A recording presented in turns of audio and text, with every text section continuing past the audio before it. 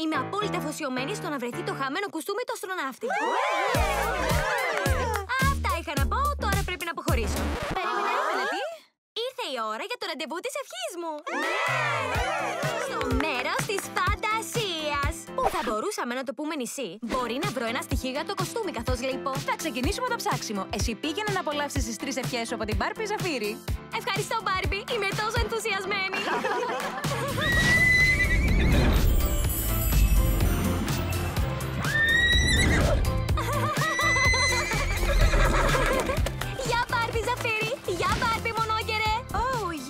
Μπάρμπι.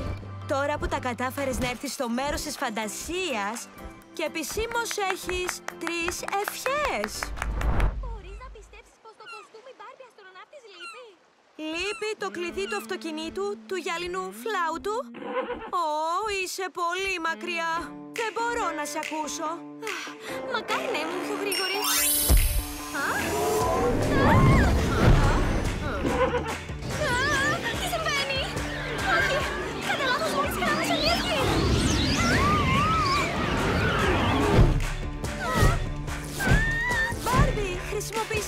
μια ευχή. Σωστά! Μακάρι να ήμουν πιο αργή. Πολύ καλύτερα.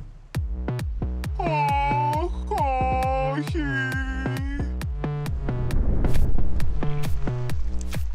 Αχ, όχι, εσύ δεν. Μπάρμπι, χρησιμοποίησε κι Περίμενε. Εγώ γιατί μιλάω τόσο αργά; Φυσικά. Μακάρι να ήμουν.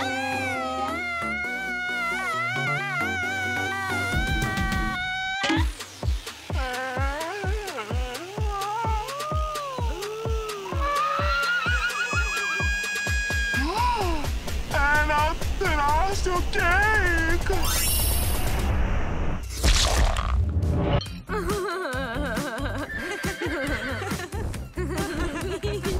Φαντάζομαι γι' αυτό ο κόσμος λέει. Πρόσεχε τι εύχεσαι